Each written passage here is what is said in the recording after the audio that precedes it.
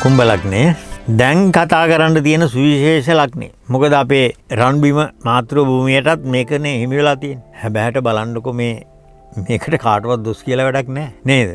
කාටවත් දොස් කියල වැඩක් නෑ සෙනසුරු දොලාහෙ ගියා. සෙනසුරු ලක්නේ ගැන යනවා. දෙ මේ වෙනකොට මේ විනාසය වෙන්ඩ පෑ ඒ විනාසය කරන්න කරන අයිටිකක් ස්වබාදාමිසින් ගෙනත් දාන්න එපෑ. දැම් මම මේ කුම්ඹලක්නට අදාළවම කියන්නම් දැම් බලන්ඩ කාට හරි වරප්‍රසාදයක් එන්ඩ. කාගෑරි ගුණවැනුමක් ඇතිවෙන්. කවුරු හරි හොඳ මනුස්්‍යය කියලා අහන්ඩ නං කලින් හිටපු මිනිසු වැරදි කරන්න එපෑ වැරදි කරපු නිසාන මේ ගොල්ලන්ට එතෙන්ට එන්ඩහම්බෙන් නැත්තන් ඒගොල්ලොම තියයින්නවන ඒගොල්ලොම තියයින්න. ඉතින් ඒ නිසා අපි දැනකණ්ඩ ඕන කෙනෙකුට වාසියක් වෙනවනං ඒ වාසිය වෙන්න හේතුවත් තමයි කලින් එතන හිටපු කෙනගේ වැරදි නිසා. කලින් හිටපු කෙනා හොඳ කරගෙන ගියාන්නම්. යහපත් දේම කරගෙන ගියාන්නම්. ආදර්ශමත් පුද්ගලය වුණා නං. අය කොහෙද වෙනගෙන පත්වෙන්. පත්වෙන්නේ නෑ. සම්පූර්ණම ස්ථාවරම යාතියාගන්න. උදාහරණයක් තමයි එංගලන්තේ මහරජින. මැරණකම්ම තියාගෙන හිටිය කියන්න රජ පුටුවේ තියාගෙන හිටිය. එති එනිසා ඕස්ට්‍රේලියාවටත් නිදහස ගණ්ඩ කිව්වාහම ඕස්ට්‍රේලියාවට දැන් අවුරු දෙශය ගානක් තියෙනවා මහා ප්‍රතාානය යටතේ කරුණා කල නිදහස්වෙන්ට ඕස්ට්‍රේලියාව ගෙන බෑ අපි නිදහස් වෙන්න අබ ඔබ ඔබතුමිය යටතම ඉන්නේ. මහා ප්‍රතාානය යටතේ යදත් විජිතයක් වසයෙන් ඉන්න නිසා අපි දැන් ශස්ත්‍රීක ජීවිතයක් ගත කර. දැන් බලන්ඩකෝ හොඳම කරගනාපුවා ස්ථාවර විච්චි හැටි. ඒ නිසා මෙන්න මේක අපිට අපිට තේරුම් ගණ්ඩ කාට හරි හොඳක් වෙන්න නම්. ඊට කලින් නරකමිනිය ගින්ඩ පෑ. ඒ නරකමිනියා නිසාන මෙයාට මේ ප්‍රසංසාවෙන් එක පැත්තකින් එක පැත්තකින් මේ බලයටෙන අය අරගොල්ලන්ට ස්තුති වේවා කියලා කියන්නත් පුළුවන්නේ. ඔබට ස්තුති වේවා. ඔබේ තියෙන දුරලකම් ඔබේ තියෙන වැරදි නිසා අපි ජයග්‍රහණය කළ. අන්නේ වගේ. ඉති එනිසා මේ කුම්ඹලක් නෑය තැන් පුළුවන්. ඔන්න දැන් දැන් ස්ථාවර නායකත්වයකට එන්ඩ ඕන කෙනෙකුට පුළුවන් ඇවිල්ලා අර වෙනස පෙන්න්න. වෙනස පෙන්වා කියන්නේ ටක් එකටම. පෙන්න්නගෙන යනවා. හැබැයි අපි දන්නේ නෑ. අපි දන්න හෙට නිදමනෝ කරයිද කියලා. හෙට නිදමනෝකරි දල කුම්ඹ ලක්නයටත් ඔය විදිහටම ඔය සේ සතම නෙවුණේ කුම්ඹ ලක්නය අයට තමන්ගේ තරාතිර මනුව නිලතල දරපු අයට ඇතකොට සමාජ සේවා කටයුතු කරපු අයට මැති ඇමතිකම් දරපු අයට අනේ දෙදස් විස්සේ දලම මේවා ටිකටික නැතිවෙන්ට පටන් ගත්තන. දෙදස් විස්සේ ජනවාරි මාසේ විසිාතනය දලා දෙදස් විසිතුනේ ජනවාරි දාහත දෙදස් විසිතුනේ ජනවාරි දාහති ඉඳලා දෙදස් විසි පහේ මාර්තු තිය වෙනකං කාලේ කුම්ඹලක්න හිමියන්ටත් ඔය සන්තෑසිය තමන්ගේ තරාතිරමණු වුණ. මේ කාලය තුළ අත්හැරීමේ ක්‍රියාදාමය ඉදිච්චා ඉන්නවන. මොනාද අත්හැරීම කියන්නේ අධික තන්නහාාව අධික ලෝපකම අධික රාගය ඉරිෂාව මේවා අත්හැරිය නම් පොඩි චාන්සයක් ඒගොලන්ට දුන්න කුම්ඹලක් නෑයට මොකද ඔබ ලෞකික සැපට වඩා මේ අධ්‍යාත්මය ඔබේ හිත දියුණු කරගන්න තත්වයට පත් වෙලා තියෙන. ඔබ අපි දනුවන් කරන්න කලින් කොලිෆයි වෙලා සුසුහන් ලාබිය බවට පත් වුණ. එහෙම අයට ඔන්න ගැටලුවක් නෑ එහෙම නැති හැම කෙනෙකුටම උදාර විශාල බලාපොරොත්තු තියාගෙන හිටපු අයට මේ ආදීනම මේ ආනිසංස සිද වුණ. මේක මේ විෂය ධාරාව මේ ස්ට්‍රෝලජී කියන විෂය ධාරාව. මේක මේ ලෝකයෙන් අපිට ලැබුණේ මේ සමාජ ගත වෙලා තියෙන්නේ මේටික දැනගන්න. මේටික දැනගත් හම අපි කාටවත් දවේශ කරන්න අපි කාටවත් ඉරිෂය කරන්න කවුරු හරි හොඳ දෙයක් කියනවන. දැන් ජෝතිෂය පැත්තේ යම් මහත්මයෙක් මහත්මයක් යහපත් දෙයක් කියනවන. ආර්දර්ශයක් දෙන්න පුළුවන් දෙයක් කියනවන. පවුලක සැනසිය මැති කරන බදන් පෙලක් උදාහරෙනවන. දරුවන්ට යහපත් සිතුවිලි පහල කරන අර මොරාල් එක ඇති කරන විදිේ වදන් පෙලා දරුව වෙනුවෙන් විශ්ව ශක්තියන මුදා හැරෙන ඕන කොච්චර වටිනවා. දැ මම මම විතරයිද මේ ඇත්තටම මේ රිසච්චක කළේ මම හිතන් මම විතරයිද මේක බුද්ධ වචනයට හැර ඇයි පොතක් පෙරලොත් තියන්නේ ඉතාම වටින අය. එතකොට මේවා අතරේ ඇයි දෙයියනේ මේ බමුණු මතේම ගෙනාව. බමුණු මතේම ගෙනල්ලා මේ ඒ රාෂ්ට්‍රක අපල ගැන කියලා ඇයි මේ අන්තර මැනික් ගල් වලට විතරක් අපේ ජීවිතය බාරදුන්න. ඇයි මොලේට බාරදුන්න ඇත්ති කියෙනෙ ප්‍රශ්නය මටාව. ප්‍රශ්නය මට ආපු නිසා තමයි මම මේක රිසර්ච් එකක් කළේ පර්ේෂණයක් කරේ බලනකොට මෙතන තියෙන්නේ මහා බොරුවක්. ඒ රාෂ්ට්‍රක අපලේ පොරොන්දං වල ඉඳලම ඔක්කොම බොරුවක්. තෙන් බුදු හාමුදුරුව දේශනා කරේ ඉපදීම දුකක් සසර දුකක් මේක නැතිවෙන්නේ නිවන් දැක්කහම නිවන් දකින ජාතිකක්වත් සසර දුකයි ඒවා මේ මුද්ද මේ මැනික් ගලකින් යන්තරයකින් නැති කරන්න බෑකි. එන තිලෝගුරු බුදුන් වෙලත් මටත් අකුසල් පලදුන්නා කියන එක දහම සදාම වෙනවන්නම් දෙයනේ මේක වෙනස් කරගන්න තිබුණන මීට කලින් මීට කලින් සමාජගත කරන්න තිබුණ මීට වඩා වෙනස් විදියට. ඒ නිසා තමයි මේක අපි අවබුධ කරගත්තහම අපි දැනගණ්ඩ ඕනෑ ස්වබාදහමත් එක කරන ගණු දෙනුවන්න මේ තියෙන්නේ. මේ ස්වබාදහමත් එක ගණු දෙනු කරන කොට අපි දැනගණ්ඩ ඕනෑ අනිවාර්යෙන්ම මේ නවග්‍රහයෝ නවග්‍රහ මණ්ඩලේ මේ රාසි දොළහේ අංසක තිය බැගින් රාසි දොළහක මේ අපේ මුළු පංචස්කන්දේම ගැන සියලු තොරතුරු ඉස්පිල්ලක් පාපිල්ලක් නෑර සඳහන් කරලා තිය. ඒක දැනගෙන එපෑ අපි අනිතගේ සිතිවිලි ස්කෑන් කරන්න. ස්කෑන් කල අවශ්‍ය උපදෙස්්ටික දෙන්න. ඉතින් මෙන්න මේ නිසා කුම්ඹලක් නෑයට කොහොමද වෙන්නේ? දැම් මේ ග්‍රහ ගමනත් එක්ක සෙනසුරු ලක්න ගතව යනවා. මේ සෙනසුරු කියන්නේ හරි වටින. මමනම් තොරම් බැඳල පිළිගන්න. සෙනසුරු කිව්ව ගමන් මට පුදු මාන්තර සතුරක් ඇති වෙන්නේ මොකද සසර වසනාතුරු සැනසීම උදාකරගණ්ඩ දෙන්ඩ පුළුවන් ආදර්ශයක් දෙන්න එකම උත්තමයා මේ සෙනසුරු ග්‍රහය සෙනසුරු ග්‍රහය. ඉතින් වෙන කෙනෙකුට බ්‍රහස්පතිරත් බෑ සිකුරුටත් බෑ. කාටවත් බෑ සෙනසුරට පුළුවන් මගදද සැනසීම හොයල දෙන්න. සැනසීම හොයලා දෙන්න පුළුවන් එකම එකම බලවේගේ සෙනසුරු. ඇති එනිසා තමයි මම නිතර කියන්නේ මෙයාගේ පැත්ත ගන්න. මෙයාගේ පැත්ත ගන්න මෙයාගේ ස්වභාව අරගණ්ඩ අපි. අපි තරුණ එඩිතර කඩිසර මුරන්ඩු තරුණ පිරිසට මම කියනවා. ඔබ සෙනසුරු වගේ ජීවත්වෙන්. හැබැයි එයාගේ ළඟ තියෙන්නේ දුක බෑක් එකේ තියෙන්නේ. ඒක ගන්න එපා. ඒක ගන්න නැතුව කටයුතු කරන්න නං ඔබ පුළුවන්නම් ඔන්න ඔය සෙනසුරුව අනුගමනය කරන්න සෙනසුරු කියන ග්‍රහ බලවේගේ අනුගමනය කරන්න ඔබට පුළුවන් වේවී මේ ජීවිතය සාර්ථක කරගන්නඩ රසවත් ජීවිතයක්. තෙම්පරාදු වෙච්චි ජීවිතයක්. ගත කරලා මේක ටේස්ට් එක බලන්න ඉති මම එකයි කැමති එක දවසක් හරි සෙනසුරගේ දවසක්. එක පැයක් හරි මට ලබනෝ නම් මම හරි ආසයි ඒක බුද්ධවිනින්. කොහොමද ලබන්නේ. ලබන්නේ මම ගමනක් යනවනම් තනියම මට වාහනයක් තියෙනවනම් මම ඒ වාහනේ නොගින්. මට ඇඟට ව්‍යයාමයක් යන්නත් එක් නේද? පයින් ගිහිල්ල බස්ස එකේ නැගල. බස්ස එකෙන් ඒ ගමන ගිහිල්ල. වැඩේ කරගෙන ආපහු බස්ස එකේන තැන් ස්වබාදහම බලඉන්නවා මේ මනුස්්‍යයට හොඳ වාහනයක් ලක්සරි වාහනයක් තියෙනවා. හැබැයි මේ මනිහා මොකක්ද කරන්නේ? පයින් බස් තෑන් එකට ගිහිල්ලා බස්ස එකට නැගලා තමන්ගේ ගමන ගිහිල්ලා ආපහු බස් එකේ නිදහසේ නිදාගෙන ගෙදරෙන.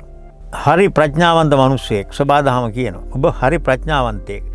ඔබ මේ සසරේ දුක හොඳට තේරුම් අරන්තියන මේ අනිත්‍යයි කියන බව තේරුම් අරන්තිය. අවශ්‍ය සැප අවශ්‍ය වෙලා විතරක් ගන්න. වාහනේ අවශ්‍ය වෙලා විතර පාවිච්චි කරන්න. දැන් බලන්ඩකෝ එහෙම කටයුතු කරනකොට මේ සෙනසුරු දෙන ආදර්ශය අපිට කොච්චර වටිනෝද කියල. මේක දරුවන්ටත් කියල දෙන්න එප එහනම් මේ සෙනසුරු ලබනවා කියන එක අනිත්හය ගැන හෙන හුරා ලබල ඔන්න කෙලවුණා කියලා හෙමයි කියන්න මම කියන තොරන් ගහල පිළිගණ්ඩ මෙයා. මෙයාව පිළි අරගෙන මේ අනිත්‍යය කියන මේ බුද්ධ වචනය අනුව මේ සසර දුකයි ජීවිතය අනියතයි කියන එක තේරුම් අරගෙන වැඩකරගෙන යන් වැඩකරගෙන යන්න අපිට ඕන කරන්නේ ශරීරය ව්‍යයාමයකට අවශ්‍ය වෙන්න. අපි කියනවා ශරීරය වේසන් වේසන්ඩ දාඩිය පිටවෙන්න අරින් දාඩිය පිටවෙන්න ඇරල එක තැනක අර කවුද ඉබ්බව තිබ්බවගේ ඉන්න ඇතුව එතකොට මොනාද හැදෙන්ට තියෙන ඔක්කම පුල් ඔප්ෂන් ලෙඩ හැදෙන ඉති මේවා නැතිකර ගන්න නම් අපි තේරුම් ගන්නට ඕන නේද? වයිස අන්ඩ අන්ඩ විදින්ට කයට ටිකක් දුක් දෙන්න බලන්න. සල්ලි බැංකුවේ තිබිච්චද. දේපල ඉඩගඩන් ඒ තිබිච්චද මේකට පොඩ්ඩක් දුක් දෙන්න බලන්න. විනෝද වෙන වෙලාට විනෝද වෙන්ට ඒකට ටයින් ටේබල්ල හදාගන්න. එතකොට අපිට පුළුවන්නේ අපිට පුළුවන් කොහොමද? අර නාණ්ඩ යනවා කියලා මම කියන්නේ. දෙන්නෙක් නාණ්ඩ යනකොට එක්කෙනෙක් යෝජනා කරනවා වැවෙන් නාලයන් කියලා. බැවෙන් නාලයන් කියලා යෝජනා කරනවා අනිත් කෙනා කියනවා යෝක දර පාසි වැඳිලා බැඳිලා දියසෙවල මටනම් බෑව ජරාවනාන්. හෝ එයා යනවා ලිදෙන්න්නා නැත්තම් ශවරකෙන් බාතුරුම ඇේ මෙයාට ඒ වගේ නෙමේ මේ වතුරට බැහල නානවා කියන්නේ සම්පූර්ණ සම්පූර්ණ මේ ශරීරයට සිසිලක් දෙන්නේ ජලයෙන් බැහල නෑවුත් දේ එනිසා එයා යනවා වැවේ නාන් ඒ නාන් මම දැන්ව කී සැරක කියනවා. නාන්ඩ ගිහෙල්ලා තොටපොලට බැහලා අර පාසිට වලටන ආරයක් පිළිගුල් කරේ ජරාව කියලා මෙයා අර ජරාව කියන පාසි එහට මෙහට ඇත් කරලා බැලු. ඇත් කරලා බලනකොට අර දුක කියන පාසිටික ඇතර යනවා. එතකොටම හරියට සැප කියන ජලය දැක්ක. සප කියන ජලය දැක්ක හරි සතුටුයි දැම් මෙයා ප්‍රඥාවන්තය තින් මෙයා බැලූ අප රාතයාට මනුස්සය ගිය රත්තනම් වගේ යතුරු තියෙන. ඉති එනිසා මම දැම් මේක නානු දැම් මෙයා නානවා දියබුන් ගගහ නානවා දුක කියන පාසි ඇතට ඇතර යන සැප කියන ජලය නානු. දැම් මෙයා සබංගාන්න නතර වෙන. සබංගාන්න නතරුණාම සබංගාල ඉවරලා බලනකොට. අර පේනතෙක් මානෙ ගිය ඇත ගිය පාසි මෙන්න බල ඒතෙන්ට ඇවිල්ල. දුකා ඒතෙන්ට ඇවිල්ලා. දැම් මෙයා දන්නවා මෙයාට මොලේ තියෙනවා දැම් මේ දුක ඇත් කරගන්න හැටි එනගේ දුක ඇත් කරගන්නවා නැවත ගිල්ල නානෝ සැප කියන ජලය. මේ සරල උදාහරණ ඇති අපේ ජීවිතයේ සැප කියන ජලයනාගන්න. සැප හොයාගණ්ඩ දුක ඇත් කරගන්න. ඉති ඒ නිසා මෙන්න මේකට තමයි මේ විෂය තියෙන්නේ මනෝවිද්‍යාත්මකව මේ විදිහට මේක සමාජගත කරන්න. එතකොට පුළුවන් වෙනවා ඇත්තරම මේ විෂය තියෙන වටිනාකම බුදු හාමුදුරුවෝ දේශනා කරපු ධර්මය හා සමානයි. ධර්මය හා සමාන. ඉතින් ඒ නිසා මේක තේරුම් අරගෙන කුම්භ ලක්නයට මම කියන්නේ ඔබ මේ වෙලාවේ අත්හැරීමේ ගුණය ඉස්සරහට දාගන්න. පෙරදැරි කරගන්න.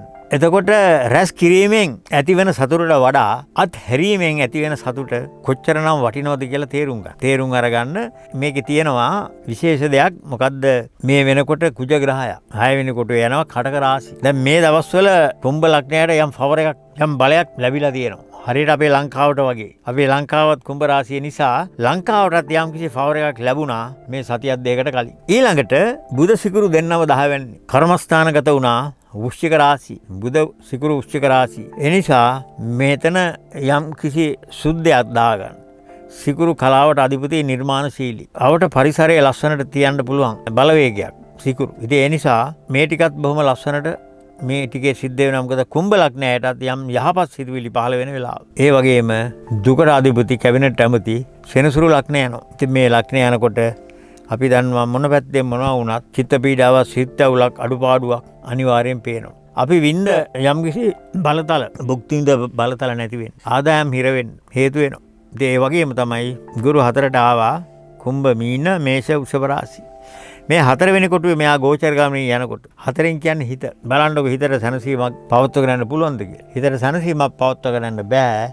බ්‍රහස්පති ප්‍රඥාවන්තයා ඇවිල්ලා මේ හතරවෙනි කොටුවේ තැන්පත් වෙලා ගෝචර ගමනින් යන නිසා. ඒ නිසා තමයි මම කුම්භ ලග්නයට කියන්නේ ඔබ දැන් ස්ථාම යුසන්. ඔබට ඉවසීම ඉතාම ඉහලින් අවශ්‍ය වෙන. සියයට අනුවක්ම යුසන්ඩ වෙන ඔබට. කුම්ඹලක්නෑයට සාමාන්‍යයෙන් හැම කෙනෙකොට නෙමේ මං කියන්නේ නිලතල තනතුරු දරපු අයට ව්‍යාපාරකින් ගෙදර ඉන්න බෙරින්දා කෙනෙකුට නම් මේක ලොකු ප්‍රශ්නයක් නෑ සාමාන්‍ය ප්‍රශ්න එනවා. ඒගොලන්ට අසනීප කරදරයක් ඇරෙන්ට ලොකු ප්‍රශ්න නෑ නමුත් වෙන එහෙමන මේ නිලතල බලතල දරපුයිට මෙ නැති වෙනකොට ඇතිවෙන පීඩනේ එනිසාතමන් කර අත්හැරීමේ මොන තරම් බලතල තිබත් අත්හැරීමේ මේ අර උපේක්ෂා සහගත දරා ගැනීමේ හැකියාව තියාගෙන කටයුතු කරන්න. එහෙම වුණහම කුජගේ මේ ගමනත් බුදසිකුරුගේ දහවෙන්න ගමන් කිරීමත්. ඊට පස්සේ මේ උෂ්චික රාසියට සෙනසුරුගේ පැමිණීමත් එක්ක උෂ්චික රාසියට සෙනසුරු එනවා. දැන් මේ වෙනකොට ඔක්තෝබර් මාසේ දාහත්වනිදා රවි කන්‍යාවට එනවා. ඊළඟට කන්‍යාවෙන් තුලාවට යනවා තුලාවෙන් උෂ්චිකට යනවා. මාස තුනක් ඇතුළත තමයි ඒ ගමන සිද්ධ වෙන්නේ. ඒ නිසා මේ කුම්භ ලක්නය අයගේ සිංහ කන්නේ තුලා චික දනු කියන රාසිවල ගමන් කරන කාලේ මාස දෙකත් තියෙනවා. ඉතාම හොඳ මාස දෙකක්. එක සිද්ධ වෙන්නේ එන අටවෙනි භාවය යනවා කන්‍යා රාසියේ එතන මාසයයි. ඉට පස්සේ තුලාවට යනවා මාසයයි. එතකොට නොවම්බර් දෙසම්බර් වෙනකොට පුෂ්චික රාසිවලට යනවා ඉට පස්සේ ධනු රාසිට යනවා. දැන් මේ කාල සීමාවල් මේ කුම්ඹලක් නෑට සුවිශේෂ කාල සීමාවක්. ඒ කාල සීමාවේ මේ තොරතුරු දැනගෙන අවශ්‍ය උපදෙස් අරගෙන ක්‍රියාත්මක වෙන්න ගොඩක් තමගේ වාසියට කටයුතු සිද්ධ වෙනවා.